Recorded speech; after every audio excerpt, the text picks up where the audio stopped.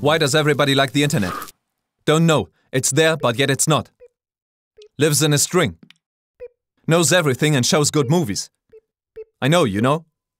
No, never. The internet is a network connecting the whole world. The human brain is a network too, but it only connects a part of the world. If we want to increase our part, we need the internet, for example. Since our comparably small world grows proportionally to the amount of time we spend on the internet. It concludes, the more time we spend on the internet, the larger our world gets. The largest world ever seen by anyone consisted of 37 windows, before his body brought him back. Whereupon his new roommate hands him a cool beverage. His favorite drink? Beetroot. If you've never seen your roommate, you can have him identified by the internet. The internet recognizes him. Jochen M. Jensen, 167.